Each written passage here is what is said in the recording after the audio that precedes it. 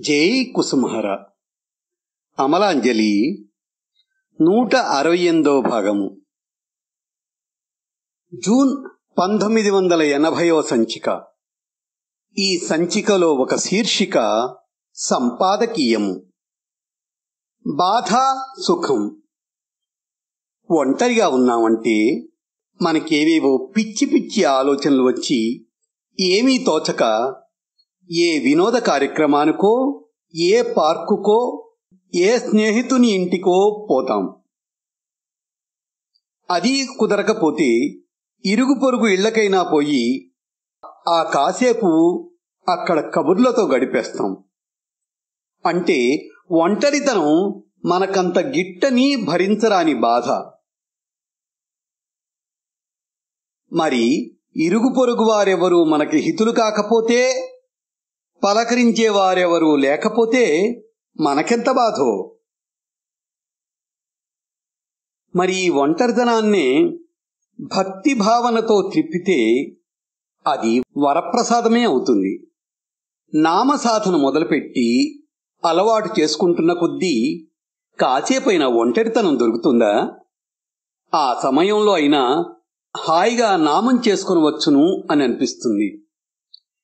ఎవరితోటి మాట్లాడాలనిపించదు. హాయిగా ఆనందంతో ప్రభురూపాన్ని ఊహించుకుంటూ నామం చేసుకోబుద్ధి పుడుతుంది. తాను ఒంటరి కాదని తనకి తోడుగా ప్రభువు ఉన్నాడని బాగా అర్థమవుతుంది. ఆ ప్రభువుతో సుఖంగా ఆనందంగా ఉంటూ ఆ ఆనందం మళ్ళీ మళ్ళీ పొందడం కోసం ఒంటరితనం కోసం ఎదురు చూడవలసి వస్తుంది. శ్రీ హరప్రభు చెప్తున్నాడు తండ్రి సమయం దొరకగానే ఏకాంత స్థానంలో విహరించడానికి వెళ్ళు. నిర్జీవ స్థానంలో రకరకాలైన రత్నాలున్నాయి. పోగు చేసుకుంటావు. ప్రేమ వృక్షం ఏకాంతంలోనే ఉంది. దాని ఫలాలు బహుమధురంగా ఉంటాయి అని. మన హరప్రభువు చెప్పిన మాటల ప్రకారం ఆలోచిస్తే ఏకాంతంలో దొరికే రత్నాలు ఇహ సంబంధమైన రత్నాలు కావు. ఆ అలౌకిక ఆనందంలో లభించే అనుభవాలు ఆ ప్రభు ప్రేమ వృక్షం ఏకాంతంలో బాగా అనుభవం అవుతుంది ఆ స్థితిలో ప్రభునితో ఆనందిస్తూ ఉంటే మానవుడు ఒంటరితనాన్ని వదిలి పది మందితో కలిసి ఉండటానికి ఇష్టపడతాడా? మనం లోకల్లో చూస్తూ ఉంటాం. ఈ మాటలు తరచు వింటూ ఉంటాం. ఏమిటోనండి? బిడ్డల్ని కని పెంచిన ఫలితమే ఉంది. ఈ కొడుకులు చూడండి పట్టించుకోరు.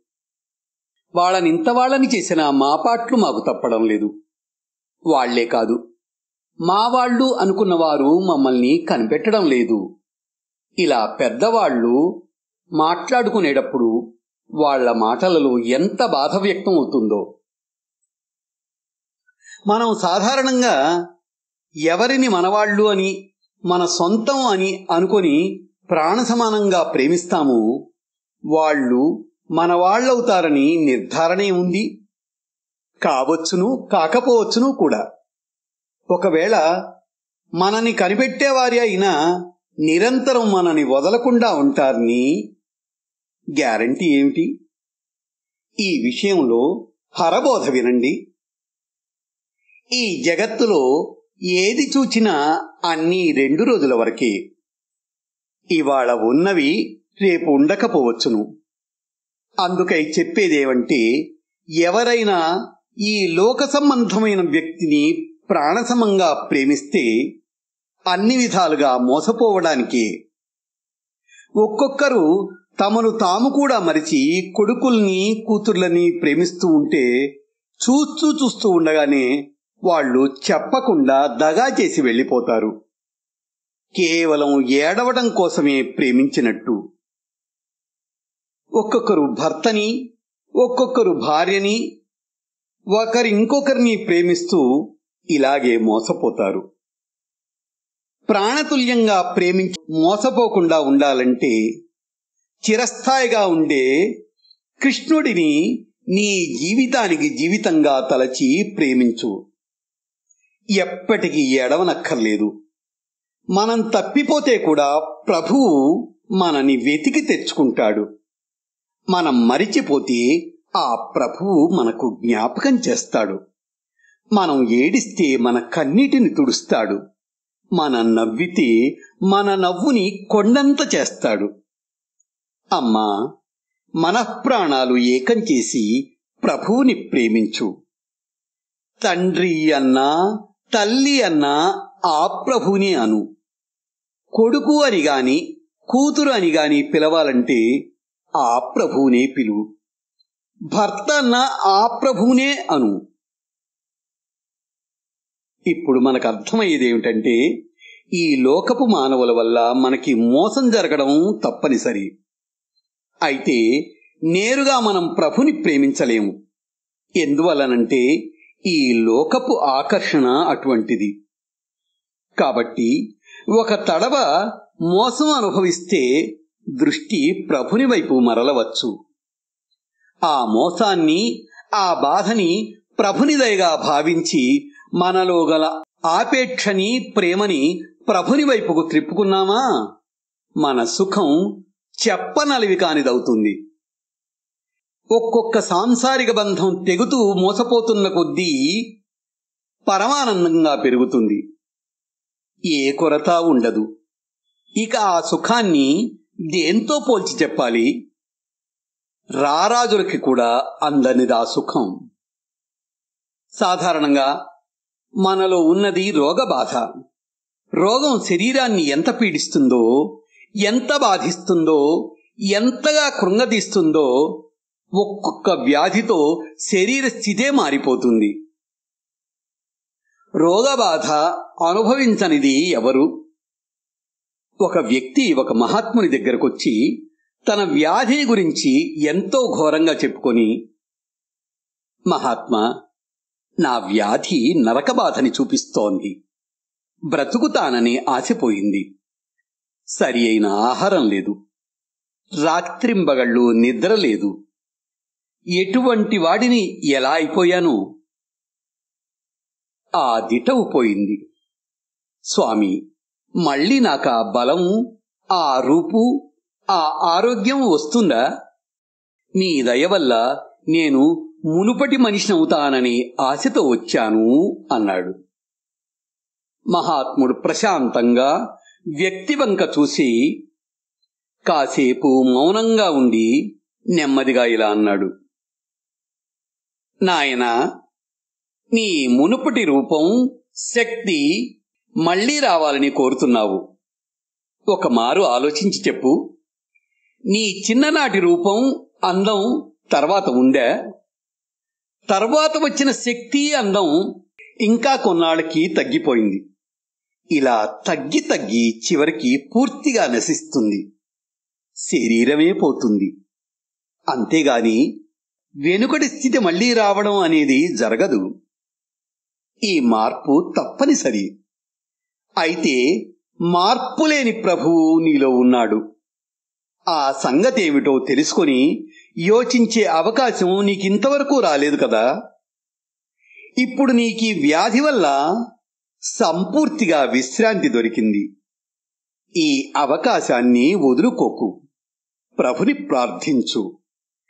ఆ ప్రభు దర్శనం చేసుకుంటూ అందులో లీనమైపో. ఈ వ్యాధి నీకా సదవకాశాన్నిచ్చిందని సంతోషపడు అన్నాడు. కాబట్టి ఏ వ్యాధి బాధాకరమైందో అదే సుఖదాయిని కూడా. శరీరం ఉంది అంటే వ్యాధి కూడా ఉంది. మరి ఈ వ్యాధి భక్తి సాధకులకి ఎంత అక్కరకొస్తుందో ఎంతటి సుఖానందాన్నిస్తుందో అది అనుభవించిన వారికి అర్థమవుతుంది. శ్రీ హరప్రభు బోధ చదవండి. సనాతన గోస్వామి వ్యాధిగ్రస్తుడై తనకు తాను ధన్యుడననుకున్నాడు. భక్తిమాలలో కుష్ఠరోగగ్రస్తుడైన బ్రాహ్మణుని విషయం తెలుసుకుంటే అర్థమవుతుంది. శరీరంలో నుంచి పడ్డ పురుగుల్ని జాగ్రత్తగా తీసి మళ్ళీ శరీరంలో అంటే పుండ్లలో వేసుకున్నాడు. వాళ్ళు ప్రభునికి పరమప్రియజనులు. వాళ్ళ స్పర్శతో ఎంతోమంది జీర్ణించిన కుష్ఠురోగులు క్షణకాలంలో ఆరోగ్యవంతులవుతారు. కాని వాళ్ళు ప్రభుప్రియ జనులు వ్యాధి నుండి విముక్తి పొందాలని కోరరు.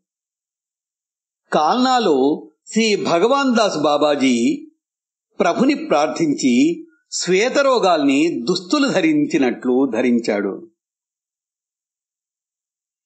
మనం నేడున్న స్థితి అనుక్షణం సంసారంలో వచ్చే కష్టాలకి కృంగుతూ ఈ కష్టాలు గడిస్తే బాగుండును అనుకుంటాం. అవి గడిచి అమ్మయ్య! అనుకున్న మరుక్షణం నుంచే మరొక రూపంలో కష్టాలు దాపురిస్తాయి. అంతా మాయ. మాయ కాక ఇంకేమీ లేదు. కాని పైన చెప్పుకున్న దాన్ని బట్టి లోతు దృష్టితో చూస్తే మనం కష్టమని బాధ అని మాయ అని అనుకున్నదంతా సుఖప్రదమైంది. ఎటువంటప్పుడు? అది ప్రభుపరంగా తీసుకున్నప్పుడు. మన విమల తల్లి మాటలు వినండి.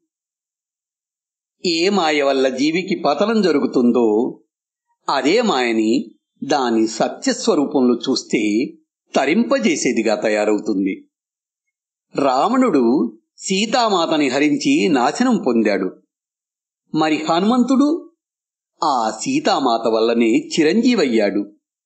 ఈ దేహాన్ని తనది అనుకొని ఆ దృష్టితో వ్యవహరిస్తూ ఉంటే అది పతనకర్త అవుతుంది.